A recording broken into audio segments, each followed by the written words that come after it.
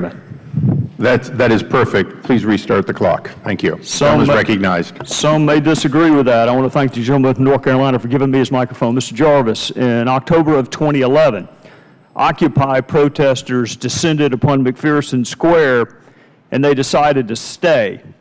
Despite the clear language of the law, these protesters camped at McPherson Square with the definition of camping being sleeping or preparing to sleep for 100 days.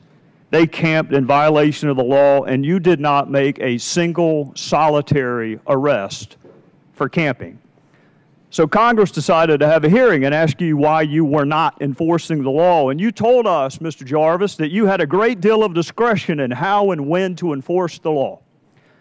You told us that you were, after a hundred days of not enforcing the plain language of the statute, working with protesters to, quote, gain compliance, whatever the hell that means, with the law and what you called, quote, a measured and reasoned approach. Uh, by the way, Mr. Jarvis, those were your words, uh, not mine. So the law says no camping, but the protesters camped anyway, and you didn't do anything in terms of arrest or citations for over 100 days. So, Mr. Jarvis, I want you to fast forward two years. Parks are closing, access to monuments is restricted, even access for those who helped build the monument in the first place. You didn't wait 100 days to enforce the law, Mr. Jarvis, with veterans who wanted to see their monument. You didn't work to gain compliance. Veterans weren't greeted with a measured and reasoned response, Mr. Jarvis. They were greeted with barricades on the very first day.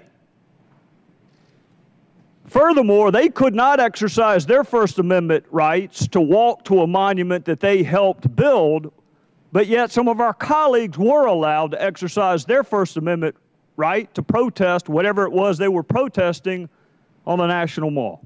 So I'm going to read something to you, Mr. Jarvis. And I want you to ask me if you recognize who said this. Because of the lapse in funding, you are having to deliver difficult news to our visitors and partners. The functions we must perform under a shutdown are not the reasons any of us join the National Park Service, but they are the duties we are required to perform by law and regulation. Do you know who said that, Mr. Jarvis? I believe I said that. You're right, you did. So, can you tell me why you would not enforce the law at McPherson Square, but yet you greeted veterans with barricades on the very first day? What regulation can you cite to me that required you by law to erect barricades?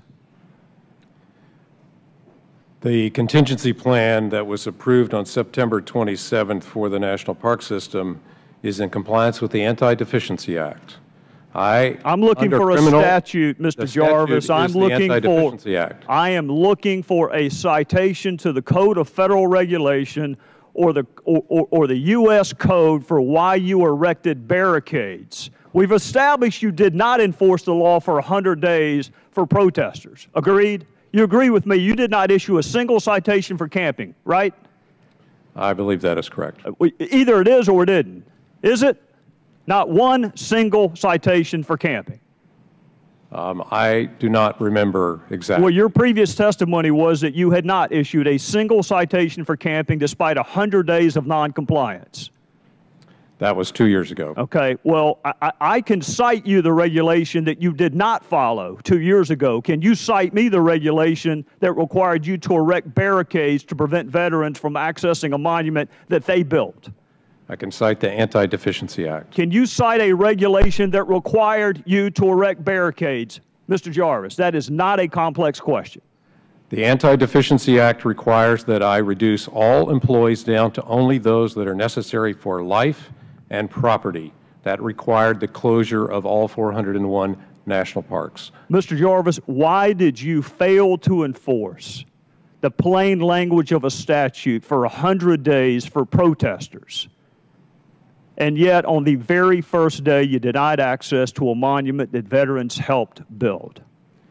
On the very first day of the closure, I implemented a closure order for all 401 national parks in compliance with the Anti-Deficiency Act. And immediately, immediately that day, uh, also included as a part of that uh, order um, that First Amendment activities would be permitted on the National Mall. Do you consider it First Amendment activity to walk to a monument that you helped build? Or is it only just smoking pot at McPherson Square? The First Amendment activities, we um, are content neutral on First Amendment the, on the National Mall. That wasn't my question. Do you consider it to be an exercise of your First Amendment right to a walk to a monument that you helped build? If an individual declares they are there for their, to exercise their First Amendment Who were they to we- declare it to? The gentleman's time has Barricade? expired. Could, could, could I ask the final question? Who were they to declare it to? to A the ranger on the site. On the National Mall, any group under 25 does not need a permit to exercise their First Amendment. And we set up the policy to allow our veterans in, including all of the honor flights under First Amendment. So they were not, not denied access. Mr. Chairman, I want the record to reflect that no statute or code of the federal regulation was cited I- to justify the erection The of a the rec- the record will indicate that, Mr. Director Jones.